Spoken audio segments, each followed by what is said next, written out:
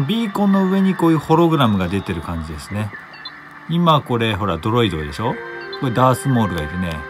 でちょっと上に上げると他の宇宙がこんな感じで広がってるわけですね。はいこんにちは。マイチャンネル前原です。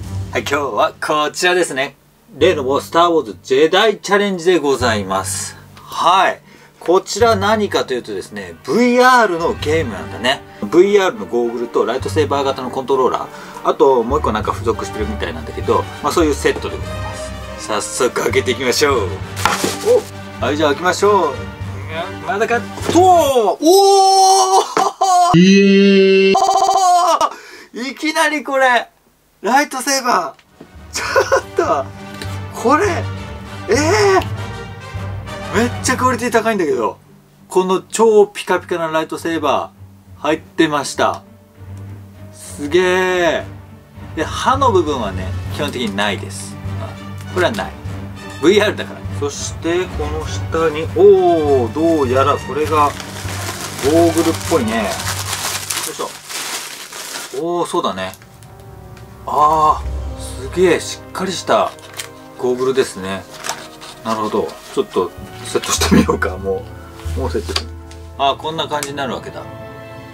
なんかドロイドっぽいそしてこちら側が何やらこういうものが入ってるね。何でしょうか。はいということでセットアップしていきましょう。まずはスマートフォンを用意しますね。でここにジェダイチャレンジのアプリもすでに入れてありますのでタップして立ち上げます。そうするとうん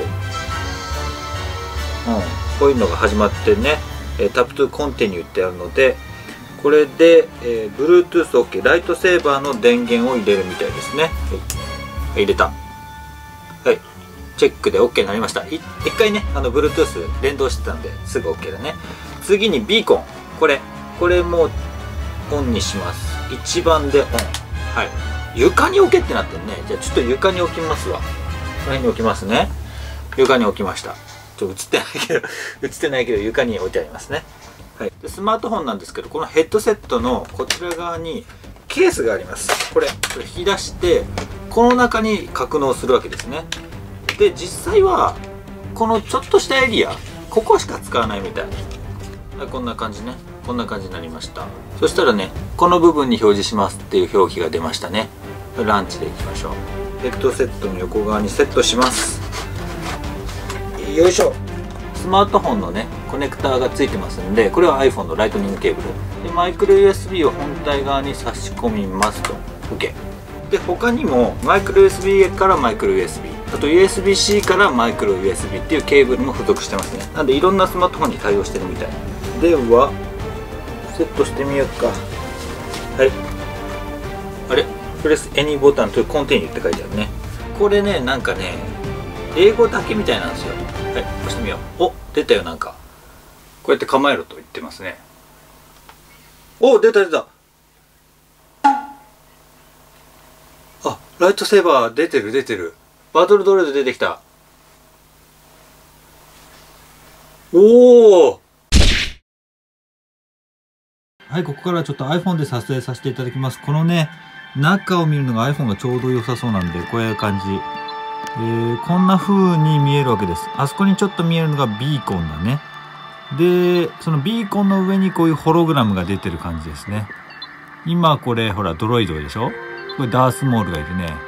で、ちょっと上に上げると他の宇宙がこんな感じで広がってるわけですね。ちょっとピンボケしちゃうな。あ、こんな感じ。こういう風に見えるわけです。ホログラムみたいな感じで見えるわけだね。これすごいよ。ちょっと今やってみたいんだけど、両手が塞がっちゃってるんで、ちょっと待ってくださいね。今ね、これ iPhone の画面録画でお届けしてますけれども、ビーコンのところにホロクロンがありますね。でそこからこう、なんか、ホログラムみたいなのが出てる感じ。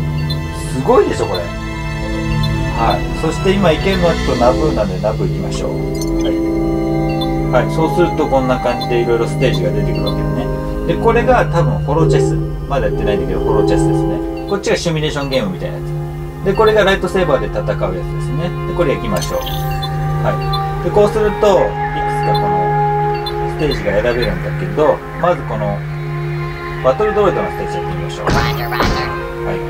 すごいよねこれ。これこんな感じで覗けるんだよ。めっちゃすごいこのゲーム。行きましょう。おそういえばちょっとあれが使えるようになったんだな。First, remember to assume your Jedi はい.ということでこのライトセーバー今持ってる.ライトセーバーを起動します。はい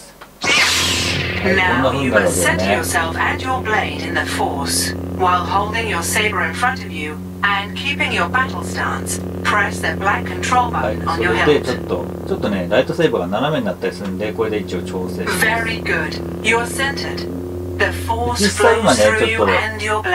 見えてる映像が違うと思うんでそうするとバトルトレードが来ますんでライトセーバーで跳ね返ります。Nice work. はい、But こんな be 感じ careful. Another wave of enemies is approaching. さあ次はあ来たはい OK I have a visual on the Oh, wait. target. はい My 使っ circuits ちゃ are loose. My circuits are loose. Stop. Or face the consequences. Enemies That's appear the- brighter Hey, than hey. within striking range.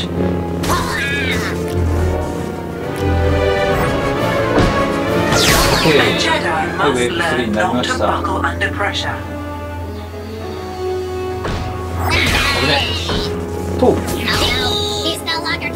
危。おスーパーバトルグループ。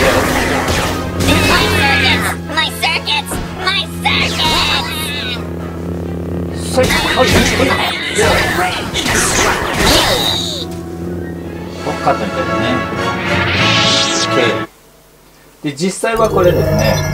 あの背景にブレンドしてるんですよ。本当にホログラムみたいに目の前に広がってるんで今ちょっとあの画面録画なんでねその辺が出てないかもしれないですけど。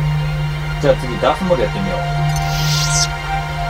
ダースモードと戦うぞこれちょっとやってねアンロックできたんですね。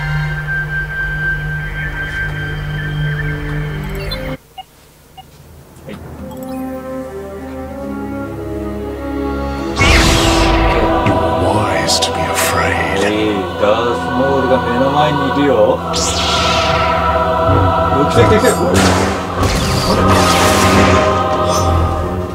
はい、と。こういうね、黄色のラインが相手が攻撃してくるライン。危ない。危ない。今スラッシュみたいなやつで出たのがうちが攻撃するといいラインだねこっちが攻撃するといいラインほら怒ってるぞ。危ない。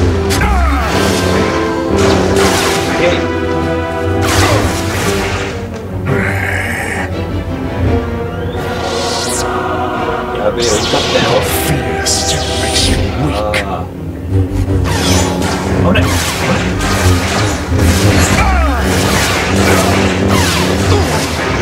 さあもうちょっとだ。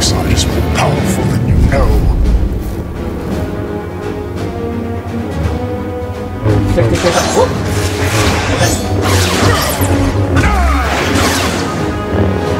した I will haunt you to the end. おーよかった倒せたね。はいこんな感じです。いやそれにしても本当すごいのはねこうやって上からナブーの街が見下ろせるのと上を見上げるとこう宇宙が広がってるわけだね。すごいよこれ。やばい。はいということでこれね本当にすごい。これちょっとね買ってよかった。マジで感動してる。このホログラムがね目の前に広がるっていうこの「スター・ウォーズ」のあの世界がね目の前に広がるっていうのはすごいね。感動しました私。はい。ということでちょっとこの感動がね皆さんにお伝えできたかわからないんだけどもしねお試しできるところがあったらこれぜひ試してみてください。すごい。マジですよこれ。感動した。はい、ということで今日の動画が面白かったなとか気に入ったなと思った方はぜひいいねボタン、高評価、グッドライクお願いします。そしてぜひお友達にも教えてあげてください。そしてチャンネル登録もよろしくね。ということで今回は以上でございます。バイバーイ。